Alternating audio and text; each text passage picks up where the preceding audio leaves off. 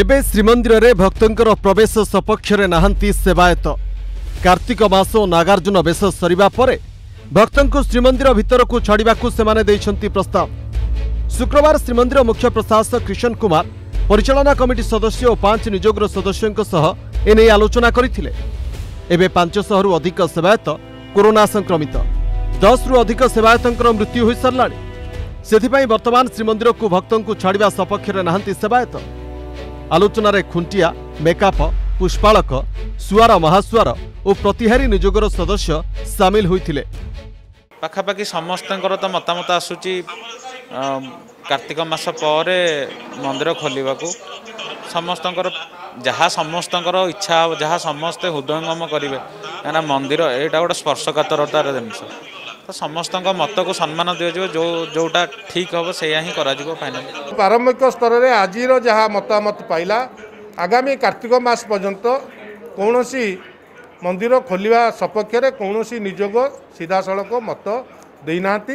ମୋର ମଧ୍ୟ ବ୍ୟକ୍ତିଗତ ମତ ଆଗକୁ ଯେତେ କାର୍ତ୍ତିକ ମାସ ଅଛି ପଞ୍ଚୁକ ଅଛି ନାଗାର୍ଜୁନ ଭେଷ ଅଛି ମନ୍ଦିରକୁ ବର୍ତ୍ତମାନ ପରିସ୍ଥିତିରେ କାର୍ତ୍ତିକ ମାସ ପର୍ଯ୍ୟନ୍ତ ଖୋଲା ନଯିବା ଉଚିତ। ତେବେ ଶ୍ରୀମନ୍ଦିର ଭିତରକୁ ନହେଲା ନାହିଁ ଅତି କମ୍ରେ ଅରୁଣ ସ୍ତମ୍ଭ ଯାଏ ଭକ୍ତଙ୍କୁ ଛାଡ଼ିବାକୁ ଦାବି କରିଛି ଜଗନ୍ନାଥ ସେନା। କେଉଁ ମନ୍ତ୍ରୀ ପାଖକୁ ଦିନେ ଜଗନ୍ନାଥ କାର ନଡ଼ିଆ ନେଇଛନ୍ତି ଦେଖେଇଲେ ଦାସିଆ ବାରୁଟି ସେ ନେଇଛନ୍ତି। ତେଣୁକରି ଆଗ ପ୍ରଥମ ଅରୁଣ ସ୍ତମ୍ଭକୁ ଛାଡ଼ନ୍ତୁ ପଛରେ ନିଷ୍ପତ୍ତି ନେବେ ମନ୍ଦିର ଖୋଲିବ କି ନାହିଁ ଆପଣ ସମ୍ଭାଳି ପାରିବେ କି ନାହିଁ ନାଗାର୍ଜୁନ ବେଶକୁ ଏତେ ଲୋକ ହେବେ କାହିଁ ଭକ୍ତ ମରିବେ ସେ କଥା ଛାଡ଼ିବା। ଏଇଟା ଗୋଟେ ଜାଗା ନେଇଛନ୍ତି ଏତେ ଖାଲି ଜାଗା ସିଙ୍ଗିଦାର କାହା ପାଇଁ ନେଇଥିଲେ? ସେପଟେ ରାଜ୍ୟର ବିଭିନ୍ନ ମନ୍ଦିରର ସେବାୟତମାନେ ଘଣ୍ଟ ବାଡ଼ାଇ ପ୍ରତିବାଦ କରିବା ପରେ ରାଜ୍ୟ ସରକାରଙ୍କ ନିଦ ଭାଙ୍ଗିଥିଲା। ଭକ୍ତଙ୍କୁ ମନ୍ଦିର ଛାଡ଼ିବା ପ୍ରସଙ୍ଗରେ ରିପୋର୍ଟ ଦେବାକୁ ରାଜ୍ୟ ସରକାର ଜିଲ୍ଲାପାଳମାନଙ୍କୁ ଦଶ ଦିନ ସମୟ ଦେଇଛନ୍ତି।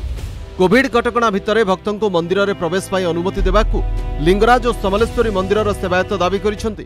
ଆମକୁ ଆଜି ସାତ ମାସ ଆଠ ମାସ ପରେ ଘଣ୍ଟ ଘଣ୍ଟା ସବୁ ବଜିଲା ପରେ ସରକାର ନିଦ ଭାଙ୍ଗିଲା।